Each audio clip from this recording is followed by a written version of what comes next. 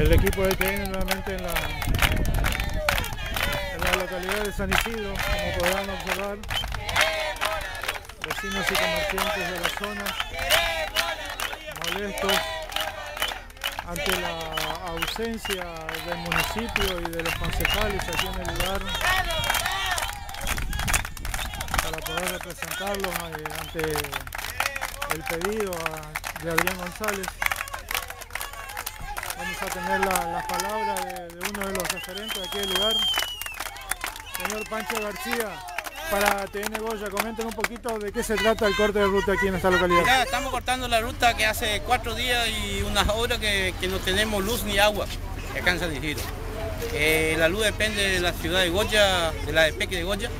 Nosotros es cierto tenemos un municipio acá en San Isidro hace tres meses, pero no tenemos un distrito de la de Peque, así que la, de, dependemos de Goya todavía. Ese es nuestro reclamo, queremos la luz, que nos dé la luz y levantamos el corte. ¿Alguno de ustedes se ha acercado o algún representante ha ido a hablar con Adrián González? Eh, yo le, personalmente le llamé por teléfono ayer y hoy y siempre la misma respuesta nos da de que no tiene personal, no tiene vehículos, elementos y elementos y que están trabajando. Y dice que están trabajando, pero ya esto es una, ya viene de, de, hace meses y años. Yo fui varias veces y varias veces y nos han dicho lo mismo. A ver, ya estamos en la altura del siglo que vivo, no podemos tener trabajar eh, de esta forma. Ustedes, ustedes les anticiparon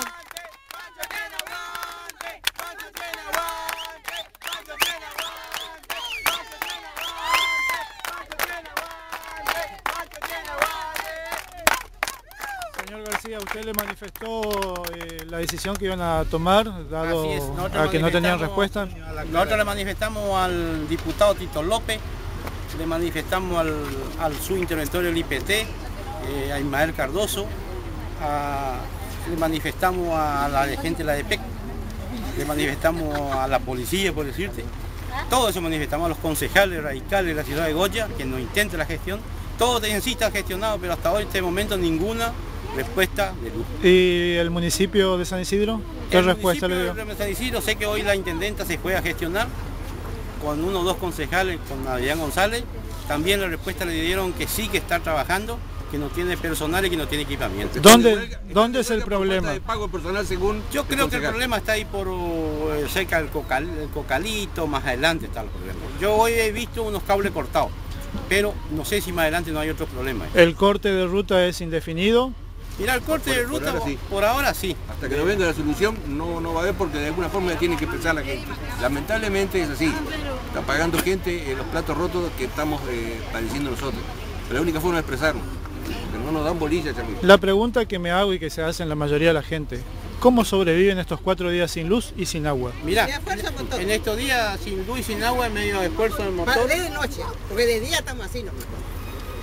No tenemos heladera, no, y ahora nos cortaron el agua, ¿por qué? Por falta de Vamos a la cañada, la laguna. Tenemos bomba a mano, la antigua, en los pozos se está ocupando lo que antes había.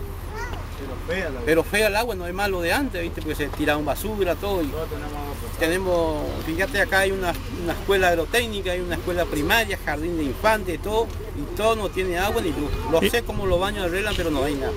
Imagino que estos días no tuvieron clases. Sí, hay la hay, ¿Igual dieron clases? Igual las clases. Y de una casa, pero los chicos no tienen la culpa, tienen que aprender igual. Lo que pasa es que con este sistema no sirve. Estamos viviendo Mira, en el siglo XXI, chamigo. El, no tema, estamos el tema de nadie tiene la culpa, yo quiero pedirle a los camioneros, colectiveros, todos los que hoy están parados, esperando la hora que levantemos el corte, somos hermanos, ellos no tienen la culpa de esto. Pero, Pero este es el último recurso claro. que tenemos que hacer para que los políticos de turno no den pelota. Cuando quieren el, voto, el voto todos somos buenos. Todos pero somos en este momento se olvidan de este nosotros. Se, nosotros. se olvidaron de nosotros. Así que este es el último recurso que hacemos. Pancho García, muchísimas gracias. Gracias a vos por venir.